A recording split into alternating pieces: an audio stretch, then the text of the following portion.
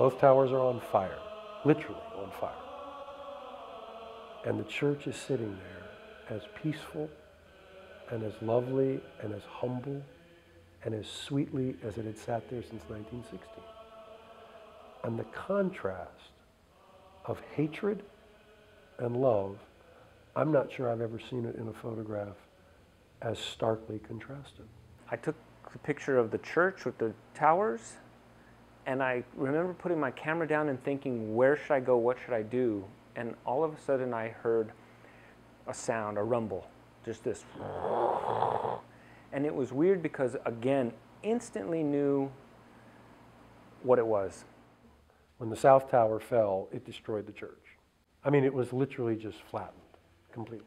I mean, it was obliterated. I parked my car four blocks away, walking there, and I was going to see my church stand up, and I see the church.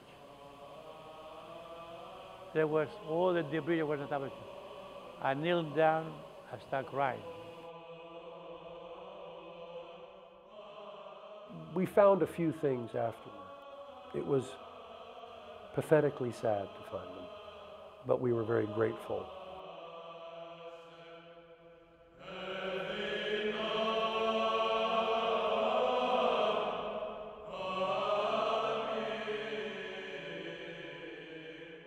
The church is suing the Port Authority for one preeminent reason, and that is simply to get the church rebuilt at the World Trade Center site on a parcel of land that is suitable for a church. The Port Authority worked cooperatively with the church from 9-11 right up until the spring of 2009. They actually had reached an agreement to rebuild the church at the World Trade Center site, and they were working out um, some last details when the Port Authority walked away from the deal very abruptly in March of 2009.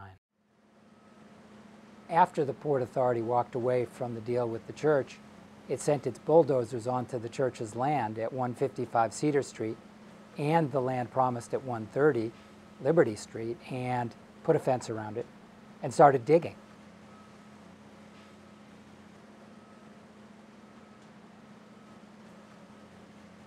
At the finding of the ship, it's a sign from St. Nicholas. I want my church back. kind of significant that they found it where St. Nicholas should be, the patron saint of sailors and those who sail at sea. We lost a lot of friends in 9 11. And uh, I guess the church is a friend too. The most important thing that you could see on the second floor, looking outside from the windows of Tower 2, you used to see the little Greek church.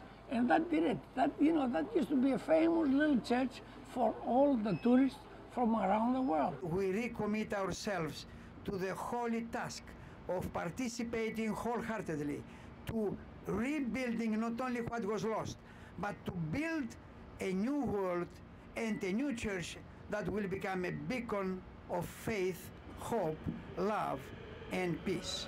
Hopefully someday we'll build. When? I don't know. Hopefully before we die. Hopefully before we close our eyes. Many parishioners, that's all they say. We hope and see St. Nicholas built before we close our eyes.